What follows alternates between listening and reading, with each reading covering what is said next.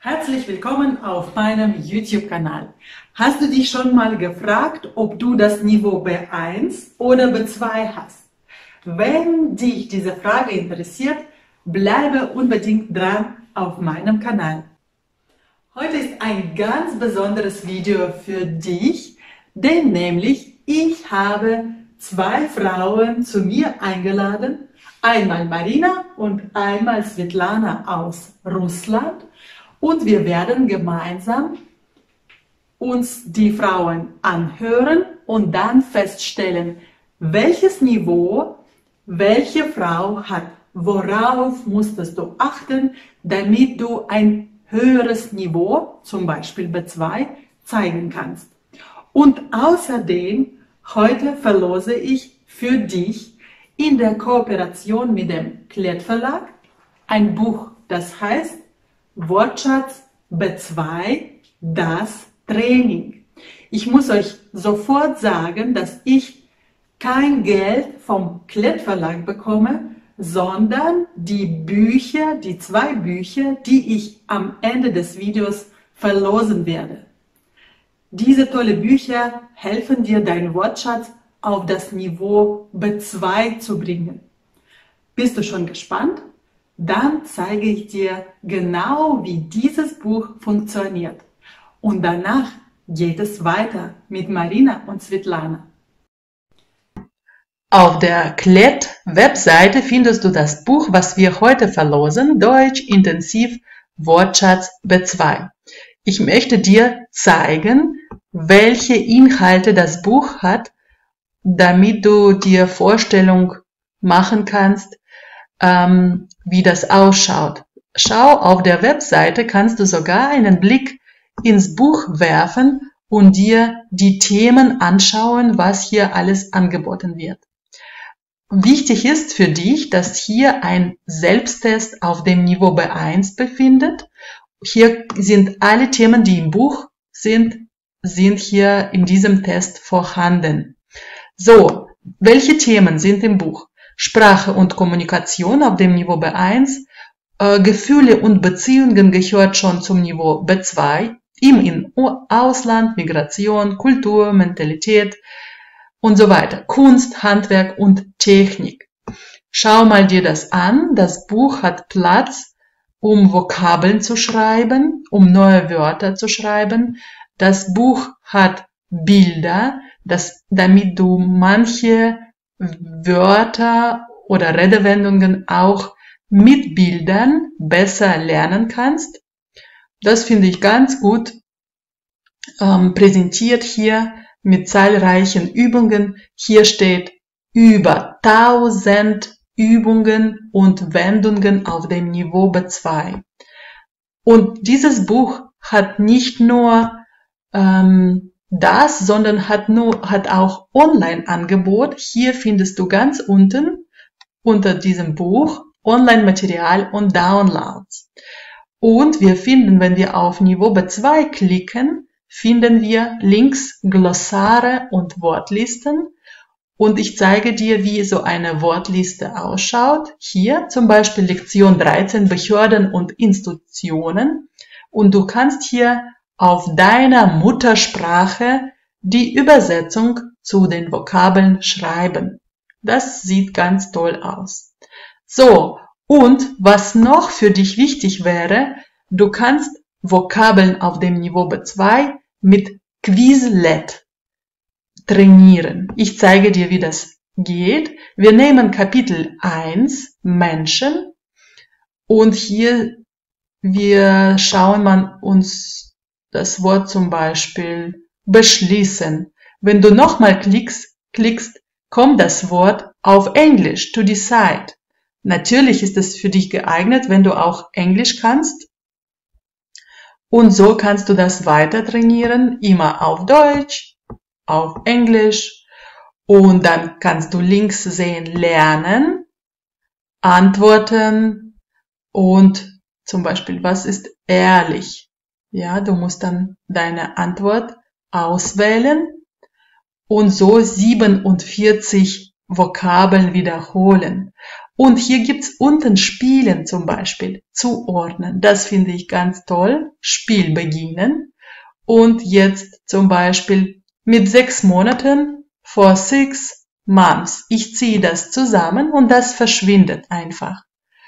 Ähm, was können wir nochmal nehmen? Respektful respektlos. Nein, das ist falsch. Respektvoll ist richtig. So, und dann gehen wir zurück und so kann man einfach Vokabeln trainieren. Wenn wir schon auf der Klett-Webseite sind, möchte ich dir zeigen, wo du Modellprüfungen ähm, für die Prüfung Tech Deutsch B2 findest. Alle Links lasse ich dir in der Videobeschreibung. Du, was beinhaltet dieser Test? Der kostet 4,99 Euro. Du kannst ihn herunterladen. Und hier gibt es ein Modelltest als Simulation, Audiodateien, das ist sehr wichtig, die sind dabei. Übersicht über die Prüfungsteile, Transkriptionen der Hörtexte, Lösungen, Bewertungskriterien und Antwortbögen. Und so schaut das Probe, äh, Probetest, sieht so aus. Hier ist Inhalt und dann kommt schon Leseverstehen. Ganz bequem zu Hause trainieren und herunterladen. Und wie gesagt, alle Links findest du in der Videobeschreibung. In der Prüfung solltest du dich immer vorstellen. Hallo, ich heiße Elena und so weiter. Nun stelle ich diese Frage an meine zwei Gäste. Und zuerst kommt Marina. Bitte stellen Sie sich vor. Ich heiße Marina Bonn. Ich komme aus Russland. Ich lebe in München und ich bin Verkäuferin von Beruf. Dankeschön, Marina. Nun, Svetlana, stellen Sie sich bitte vor. Guten Morgen. Mit dem Vornamen heiße ich Svetlana, mit dem Nachnamen Roschina. Ursprünglich komme ich aus Russland und seit fünf Jahren lebe ich mit meiner Familie in der Nähe von München in Erding in Deutschland. Zehn Jahre lang habe ich in Russland im Verkauf gearbeitet und jetzt bin ich auf der Suche nach einer Stelle, auch im Verkauf. Nun haben wir jetzt gemeinsam gesehen, dass Marina eher kleine Sätze benutzt und einfache Sätze und einfache Konstruktionen benutzt. Ich heiße, ich komme. Da, diese Sätze sind alle richtig, alles korrekt, aber die sind einfach. Je einfacher deine Sätze sind, desto schneller rutschst du auf das Niveau B1 runter. Aber du möchtest natürlich Niveau B2 haben, wie bei unserer Svetlana. Also, was macht Svetlana?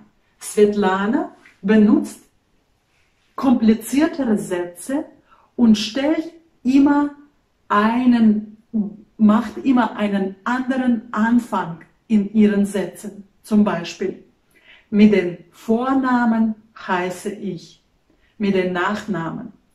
Ursprünglich komme ich. Die sagt nicht, ich komme aus Russland, sondern stellt ein Wort ursprünglich komme ich aus Russland. Das klingt sehr gut und das klingt auf dem Niveau B2.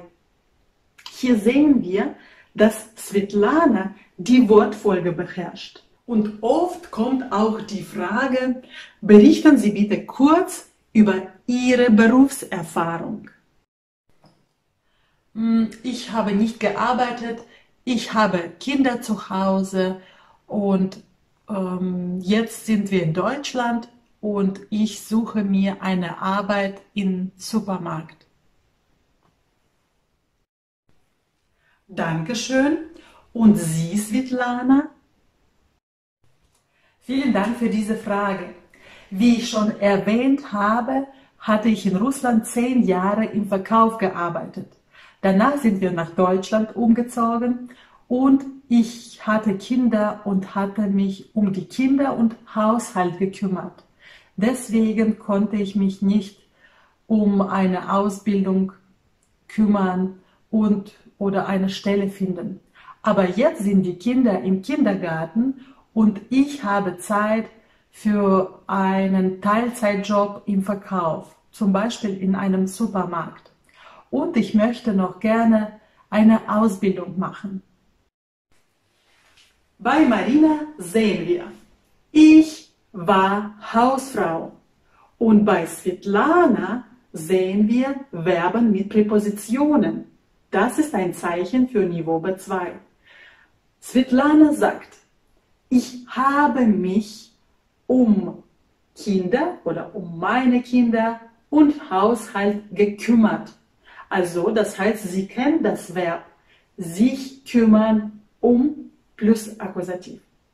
Und so mit so Kleinigkeiten kann der Prüfer feststellen, ob du Niveau B2 hast oder Niveau B1.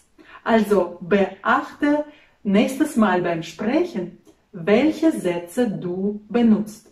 Benutzt du kompliziertere Sätze? Ähm, benutzt du Nomen-Verb-Verbindungen, Verben mit Präpositionen? Oder sind deine Sätze einfach und klar strukturiert? Und beachte das beim nächsten Mal bei deiner mündlichen Prüfung. Wenn ich jetzt zwei Lehrwerke von Niveau B1 und B2 vergleiche, dann sehen sie auf den ersten Blick ein bisschen ähnlich aus. Aber das ist nicht so. Beim Niveau B1 spricht man oft über Dinge, die man überall hat. Zum Beispiel, die man jeden Tag hat. Einkaufen, Schule, Deutschkurs, Arbeit und so weiter. Auf dem Niveau B2 kommen mehr berufsbezogene Themen dazu und wichtig ist, dass auch abstrakte Themen wie Liebe, Vertrauen, Religion ähm, und verschiedene abstrakte Themen kommen auch beim Thema beim Niveau B2 dazu. Und hier bekommt ein B1-Student Schwierigkeiten, weil Wortschatz auf dem Niveau B1 ist aufgebaut, nur so aufgebaut, dass es nur reicht für einige alltägliche Dinge, wie zum Beispiel einkaufen, zum Arzt gehen. Aber auf dem Niveau B2 musste man schon über abstrakte Dinge reden, über die Liebe, Beziehungen, Patchwork-Familie und so weiter. Oder das, was in den Nachrichten vorkommt, man sollte auf dem Niveau B2 schon seine eigene Meinung äußern zu diesem Thema. Deswegen kommt es in der Prüfung TEL Deutsch B2 ein Thema und zwar eine Diskussion, wo man seine eigene Meinung äußern sollte. Zu diesem Thema Meinung äußern habe ich ein tolles Video gedreht, wo ihr verschiedene Redemittel benutzen könnt, das findet ihr in der Playlist B2 Online-Kurs. Schaut unbedingt dieses Video euch an und ich verlinke das Video hier in der Infobox. So, über Wortschatz haben wir gesprochen. Es wird immer wieder schwieriger. Und welche grammatischen Themen kommen noch hin? Schaut mal das hier. Hier stehen weil und das Sätze. Diese Sätze lernt man schon auf dem Niveau B1. Aber der B1-Student ist nicht verpflichtet, diese Sätze richtig auszusprechen. Das heißt, er kann das mit benutzen und mit den Fehlern sagen. Zum Beispiel, ich lerne Deutsch, weil ich möchte in Deutschland eine Arbeit finden. Ich werde diesen Studenten sehr, sehr gut verstehen. Und die Deutschen übrigens machen auch sehr oft diesen Fehler.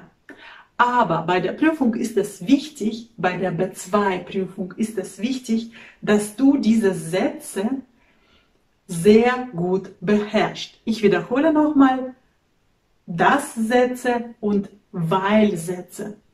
Und wenn du zum Beispiel einen Brief schreibst in der Prüfung Take Deutsch B2, hier kommt und du schreibst bitte um Informationen, da kommt auch ähm, der Satz, der heißt Obsatz.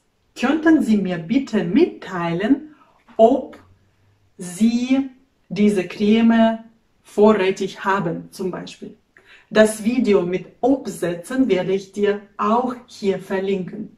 Es ist sehr, sehr wichtig, wenn du auf dem Niveau B2 bist, dass du diese Grundsätze, die sind nicht kompliziert, die wiederholen sich ständig, ja, dass du diese Grundsätze wie weil, das, ob, wenn Sätze, dass du sie wiederholst und trainierst. Wenn sie bei dir super sitzen, dann bist du schon auf dem Weg zu Niveau B2. Du bist schon fast Niveau B2 oder schon 100% Niveau B2. Und wenn du, dein Wortschatz auch sehr groß ist und du über die abstrakten Dinge wie Liebe, Religion, Kultur, Beziehungen sprechen kannst, dann bist du auch schon auf dem Niveau B2. Jetzt sprechen wir über zum Beispiel Akzent, Aussprache.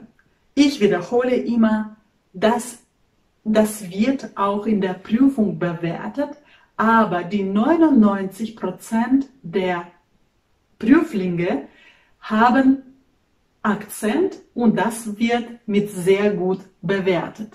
Deswegen mach dir keine Sorgen, wenn du einen Akzent hast, so wie ich. Deswegen mach dir überhaupt keine Sorgen. Das ist alles in Ordnung. Ja? So, über die grammatischen Themen haben wir gesprochen. Was ist noch wichtig auf dem Niveau B2. Es ist noch wichtig, dass du verschiedene ähm, Normen-Verb-Verbindungen benutzt. Ja, das ist, das zeigt deine, deine reiche Sprache, deine Sprachmittel, die du beherrschst.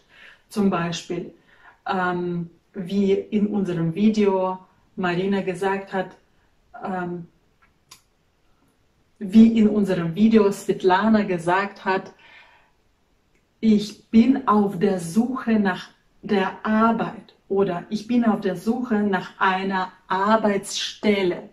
Ja, wir sehen, hier ist kompliz ein komplizierter Satz. Ich bin auf der Suche nach, nach plus Dativ.